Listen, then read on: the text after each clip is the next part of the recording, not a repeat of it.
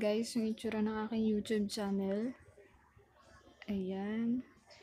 And nagbabalak na ako palitan ang aking YouTube banner. So, isi-share ko sa inyo guys kung saan ako kumukuha at nag-edit ng aking YouTube banner.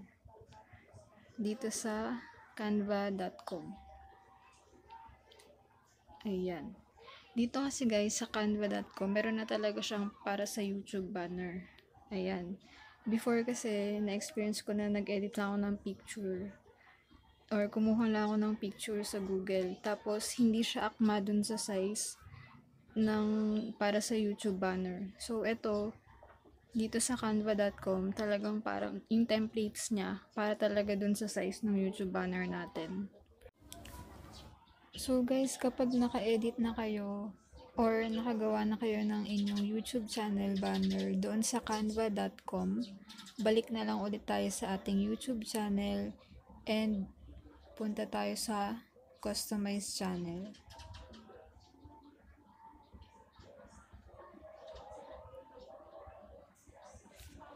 Ayan, dun sa banner natin may makita tayo sa taas na parang pencil or yung edit. I-click lang natin siya. And edit channel art. So, may nagawa na nga ako kanina na aking banner. So, kukunin na lang natin. Ayan. Ito na yung nagawa ko kanina.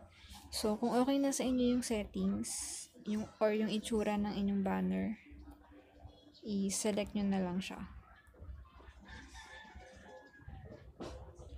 Ayan, save na siya. So, okay na yung ating banner. Ngayon naman, gusto ko siyang lagyan ng links sa gilid. Yung mga social media links natin. So, punta lang tayo sa about.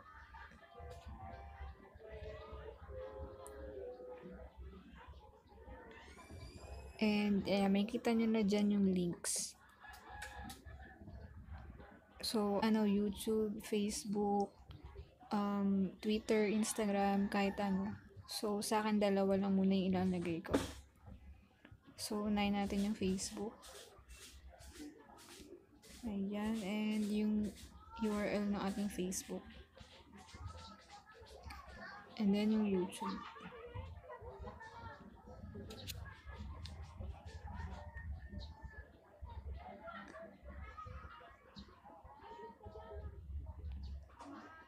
Ayan. Mapapansin nyo guys, may nilagay akong eto. Etong um, question mark sub underscore confirmation equals 1. May effect yan dun sa magiging pag-click natin yung subscribe button. So, i-check natin. So, if ever pag wala na tayong idadagdag, i-press na natin yung done.